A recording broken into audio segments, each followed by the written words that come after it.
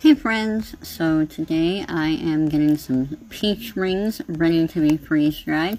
I stuck them all pretty evenly spaced out on these trays. I uh, never freeze dried peach rings before, so I'm pretty excited to see how puffy they get and how they turn out. I just kind of space them based on what I've seen in other people's videos who have done these. Um, I'm really excited to try them out because they are really good and when you freeze dry things, typically it really helps enhance the flavor of different kinds of foods and I don't know why it works like that, but it is magical, so I'm very excited.